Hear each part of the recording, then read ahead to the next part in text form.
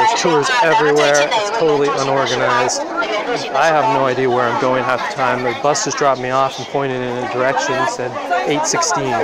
Told me 816. I don't know what that means. But uh, swarms of people here, and I got here when it first opened. I saw Westerners for the first time on my trip.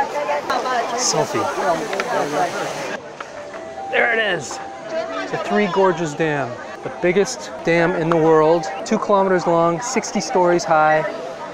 It's the biggest concrete structure in the entire world.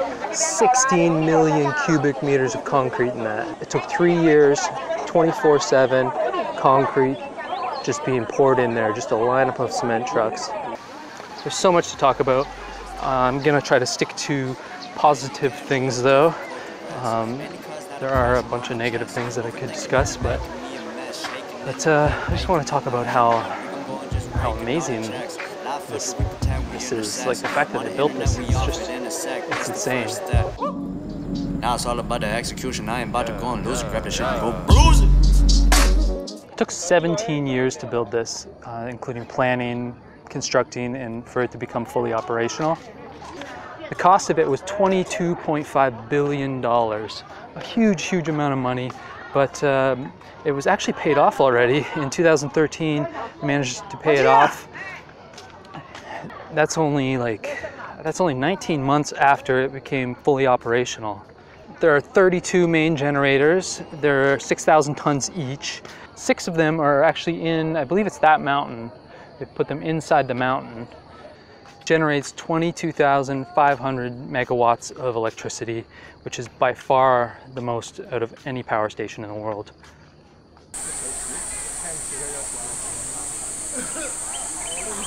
Yeah, Yes, nailed the rack focus. Guy hawking up loogies in the background.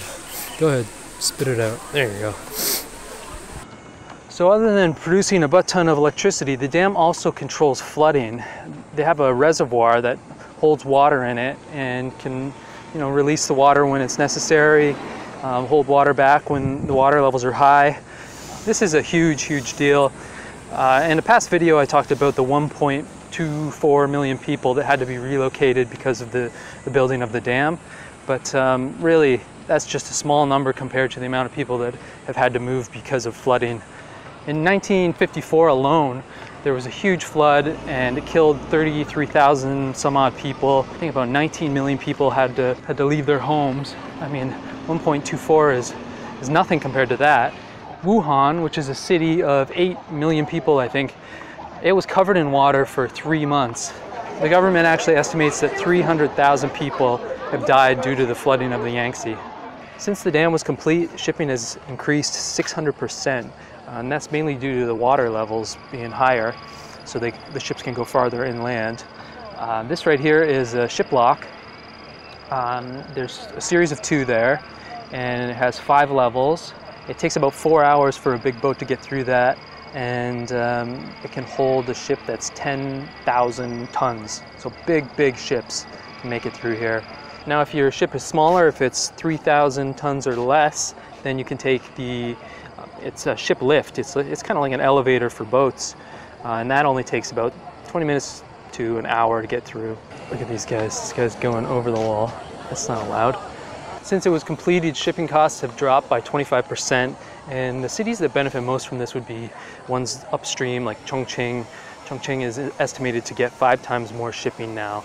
That's big for that area because, uh, you know, central China is is away from the capital, and it's it's usually ignored, and it'll help boost their economy a lot. China's going through a dam boom. They're building them like crazy. Um, obviously there's a lot of controversy with that, destruction of the environment. You know, if anything ever went wrong and all this water was released, it would take a huge toll on the population. Um, it would damage so much. And actually, some people have said that, um, you know, this might affect whether China decides to go to war because they have this thing here that if it's bombed, you know, it could destroy a huge portion of their population. But the way it's built, if part of it's destroyed, then it won't, like all the water won't be released, just a portion of it will be. This guy's just like, I'm gonna make some noise. I'm gonna, I could just walk, just walk quietly, but I'm gonna walk and clap my hands really loud because and I don't appreciate peace and quiet.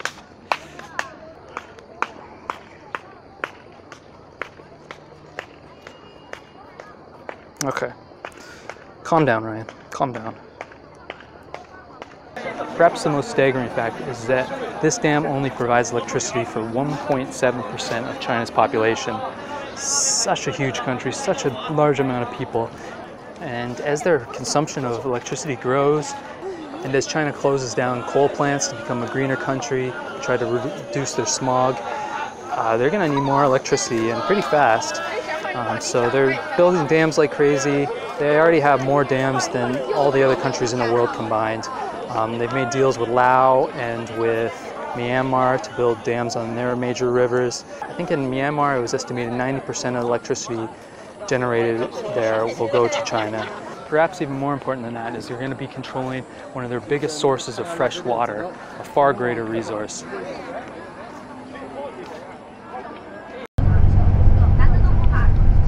Well, I gotta say, this is the best view. The park, the very last stop, and it's quiet. I mean, look at, there's hardly anybody around. I don't know where everybody is, but they're not here. So I am off to Wuhan. I got a three o'clock train I gotta catch. By the way, I'm in a new province. I'm in Hubei, and uh, it's exciting because I've spent most of my time in Sichuan province or the Chongqing municipality, which is all the same kind of food. Hubei should offer some different kinds of food.